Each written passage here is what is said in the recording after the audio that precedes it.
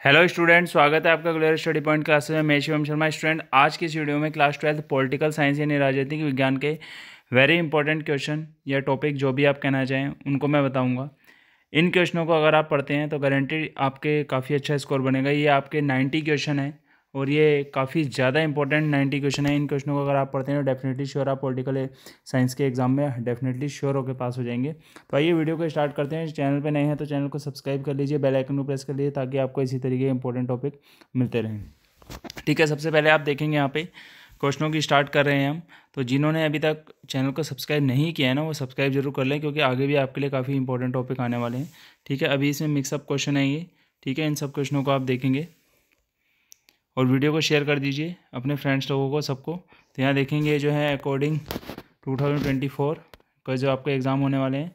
ठीक है, इसमें एक आध क्वेश्चन हो सकता है रिपीट कर दिया मैंने, पर यह है कि अधिकतर सारे क्वेश्चन जो है रिपीटेड इनमें से कोई नहीं मिलेगा आपको। हर क्वेश्चन की लैंग्वेज जो है डिफरेंट होगी। यहाँ देखेंगे, उत्तर अटलांटिक संधि संगठन नाटो की स्थापना किस वर्ष हुई थी? इसके बारे में आपने लिखना है। इंपॉर्टेंट क्वेश्चन है। ऑपरेशन इनफाइनाइट रिच का आदेश किस, किसने दिया था? इसके इसके ऊपर हम बात करेंगे। ठीक है, संयुक्त राष्ट्र संघ की सुरक्षा परिषद में कितने स्थायी सदस्य हैं? ये आपको बताना है। राज्य पुनर्गठन आयोग 1956 द्वारा कितने राज्यों का निर्माण किया गया? इसके बारे में आप बताएँगे। भारत और चीन के बीच 1954 में किस समझौते पर हस्ताक्षर हुए थे? इसमें आप देखेंगे। इंग्लिश मीडियम और हिंदी मीडियम दोनों के लिए ये वीडियो रहने वाला है। तो दोनों ही स्टूडेंट आप इसको फटाफट देख लें, ताकि आपको अच्छे से क्वेश्चन याद हो सकें और अपनी नोटबुक में आप टिक करके इसको, अभी आप पे काफ़ी इनफ टाइम है तो आप इसको आराम से कर सकते हैं। शाहजहाज आयोग के अध्यक्ष कौन थे?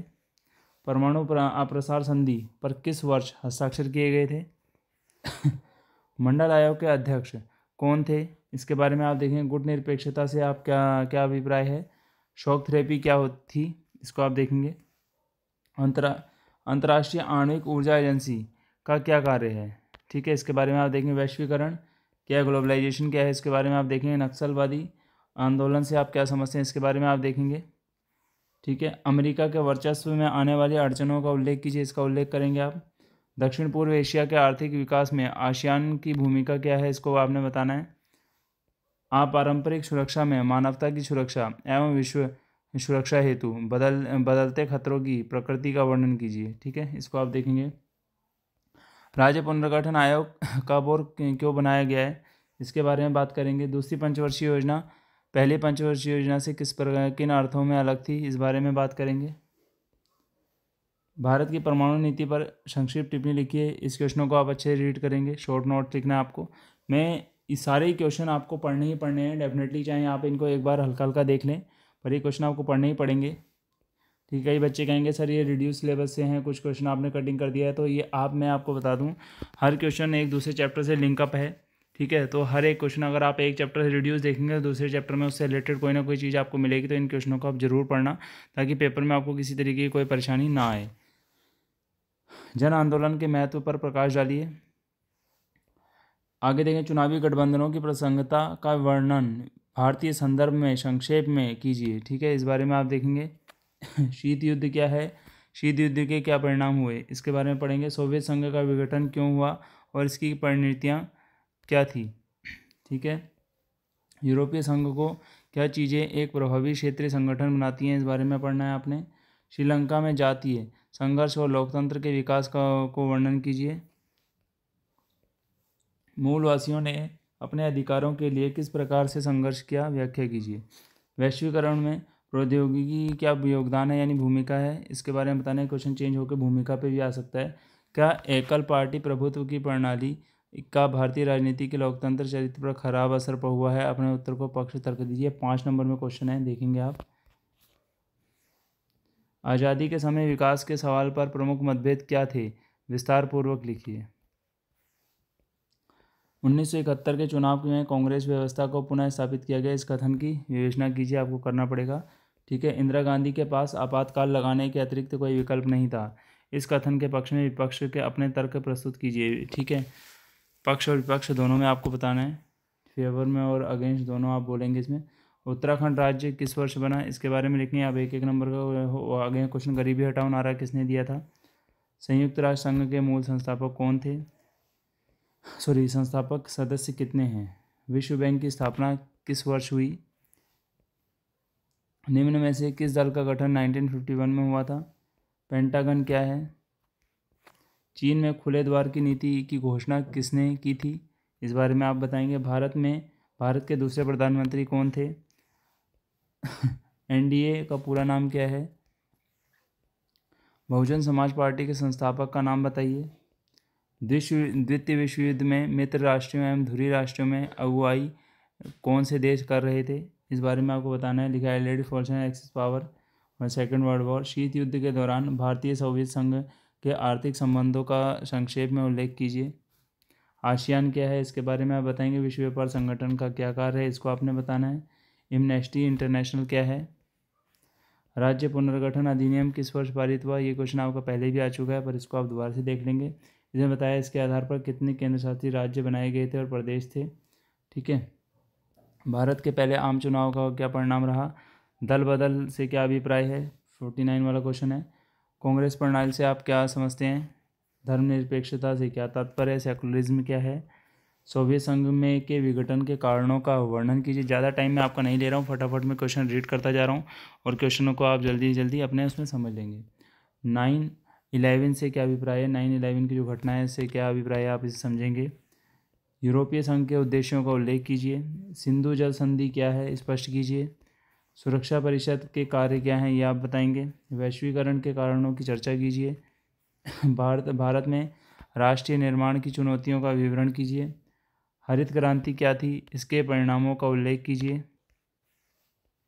1989 में देश में किस प्रकार गठबंधन सरकार बनी? ठीक है 1975 के राष्ट्रीय आपातकालन के कारण समझाइए। शीत युद्ध से आप क्या समझते हैं? सोवियत संघ और अमेरिका के बीच मतभेद के कारणों की चर्चा कीजिए। शोक थेरेपी क्या थी? इसके परिणामों का उल्लेख कीजिए। वैश्वीकरण के सांस्कृतिक प्रभावों का विस्तार में से समझाइए। वैश्वीकरण क्या है? वैश्वीकरण के दौर में भारत की स्थिति की विवेचना कीजिए। कांग्रेस का एक सामाजिक और विचारात्मक गठबंधन के रूप में मूल्यांकन कीजिए। भारतीय संघ में रजवाड़ों का विलय किस प्रकार हुआ स्पष्ट करके आपको बताना है। 1975 में आपात के आपातकाल के बाद भारत में एक नए युग की शुरुआत हुई। इस कथन को, कथन का जो है मूल्यांकन आप करके बताएँगे। देखिए, इंग्लिश में भी नीचे लिखा आ रहा है, आप समझ सकते हैं वीडियो को पॉज करके। नाइनटीन सिक्सटी का जो दशक था कि कांग्रेस पार्टी के संदर्भ में सिंडिकेट का क्या अर्थ है, सिंडिकेट ने कांग्रेस पार्टी में क्या भूमिका निभाई, इस बारे में आपको बताना है।